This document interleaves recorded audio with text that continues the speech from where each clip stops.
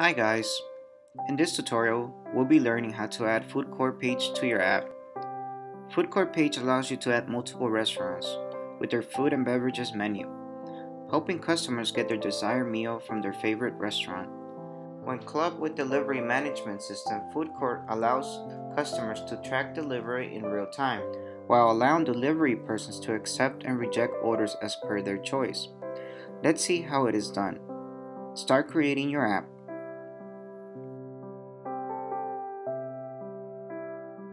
Add food court page.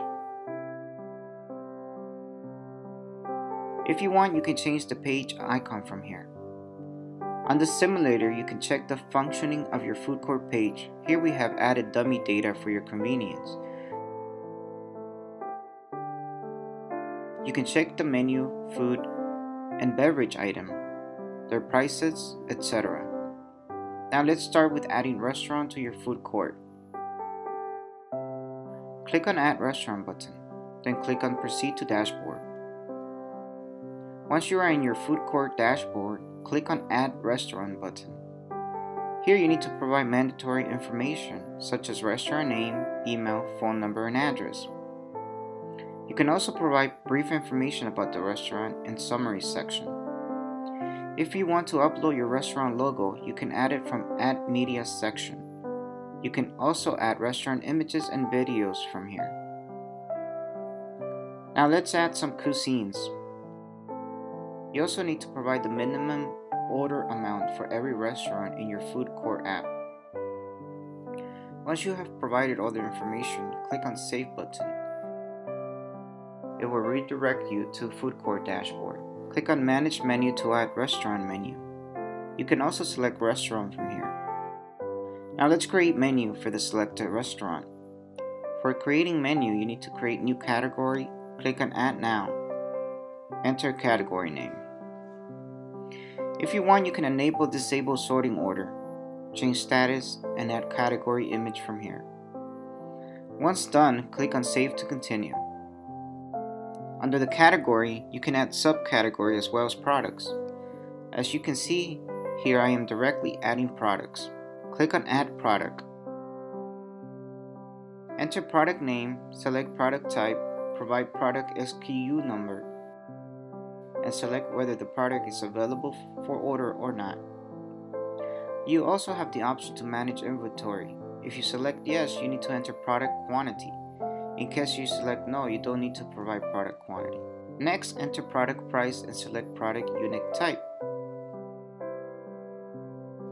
If you want, you can add a short description of the product. You can add product images and videos from media section. If you want to provide additional options for your products, click on product options. Enter product title like topping, starters, etc. Select requirement, yes or no. Input type that is single choice or multiple choice. And enter sorting order of the product. Please note, in multiple choice, you can set the limit for choices. If you have provided 5 items in multiple choice, you can either allow users to choose all the 5 items or you can restrict them to 2 or 3 items in multiple choice. Next, enter title, value, price, sorting order, and select price type. You can also add more rows by clicking on Add Row button. Once done, click on Save button it will redirect you to the product page on your food court dashboard. Now click on Manage Orders. Here you can check the order history of any restaurant by order ID or date. Now let's check General Settings section of your food court. In Configuration Settings, you will see all the settings of the restaurants that you have added to your food court page. If you want, you can change the address, mobile number, delivery duration, pickup duration, and maximum delivery distance from here.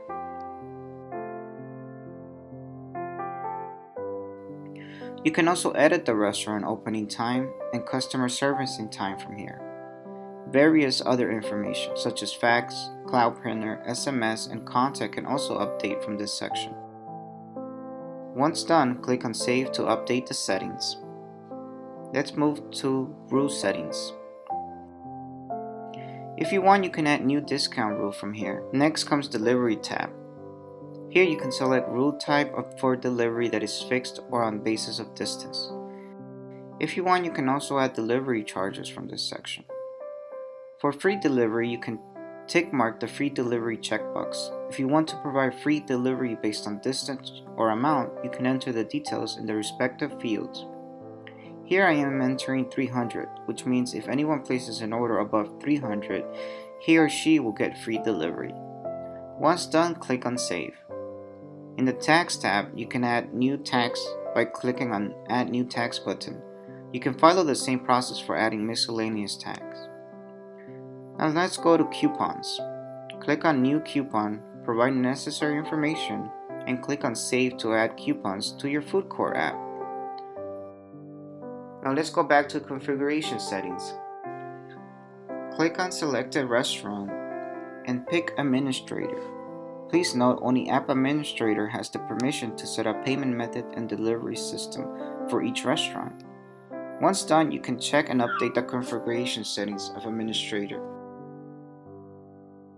Go to advanced settings and enable delivery system. Now go to payment method and delivery pickup information section. Select preferred delivery type and enter delivery duration, pickup duration, and maximum delivery duration here. If you want, you can enable and apply online payment at pickup from this section. Apply minimum order at pickup. If you want to accept payment via PayPal Express or credit card via PayPal Payment Gateway, or credit card over the phone, or credit card via Stripe Payment Gateway, you can tick mark the respective checkbox and provide necessary information to enable it. Once done, click on Save to continue. Now go to Language Settings. Here you will see all the default text currently being displayed in your food court app.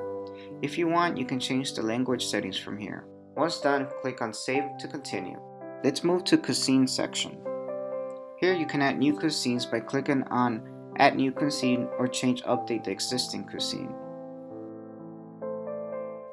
From coupon sections, you can add new coupons into your food court app. In CMS pages, you can add terms and conditions and privacy for your food court app. Let's move to Manage Users section. Click on Manage Users. Here you can see the list of app users. Now click on Manage Delivery Boy.